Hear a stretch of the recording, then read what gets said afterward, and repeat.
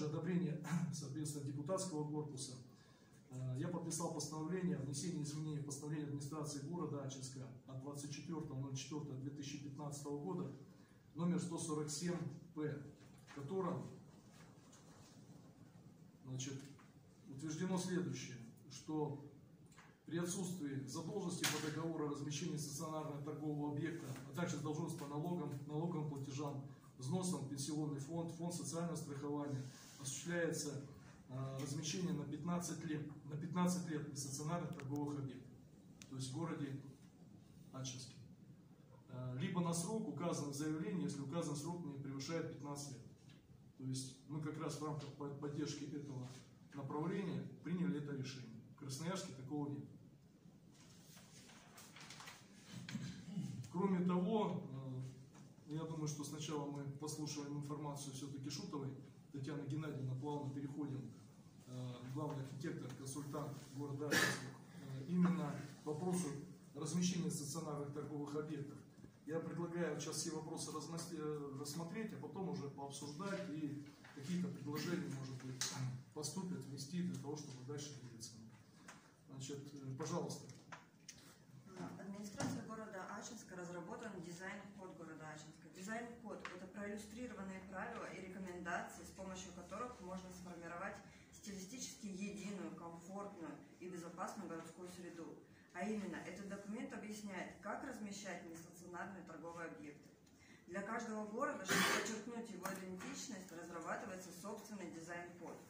Большинство российских городов страдает из-за визуального шума в том числе от светящихся и мигающих вывесок в разных стилях, от хаотичной рекламы, закрывающей фасады зданий и не позволяющей увидеть историческую застройку.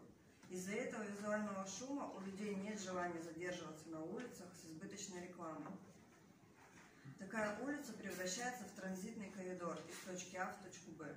Получается, что визуальный шум негативно влияет на общее состояние города. Дизайн-код призван снизить этот шум, вернуть городу визуальную чистоту и вместе с этим привлечь на улицы больше пешеходов. Это поможет малому бизнесу сохранить клиентов и выдержать конкуренцию.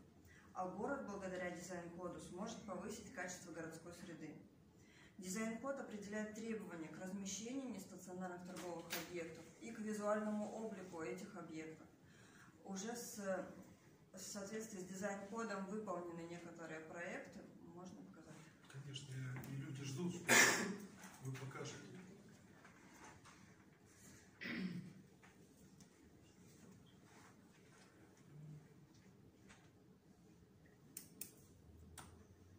Вы комментируете дальше, не просто, как говорится, комментируете. Это уже готовы есть в городе? Кирова 10. Э, это получается разработанный проект павильонов уже в соответствии с дизайн-кодом. Эти павильоны мы, возможно, перенести на другие площадки, но э, их утвердили. Именно дизайн-код, внешний облик этих павильонов, он утвержден. А, главные критерии – это единый, единая стилистика, вывески все размещаются в одну линию. И несколько примеров таких павильонов я показываю. А, еще один пример, тоже единая стилистика. Вывески находятся на фризе. У всех высота шрифта одинаковая.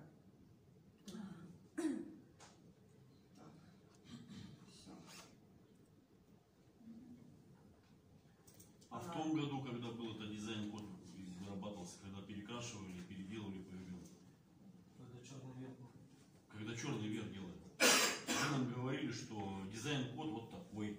Значит, давайте вы э, значит, претензии не предъявляете, значит, консультанту главного архитектора. В дополнение хочу сказать о том, что подписано распоряжение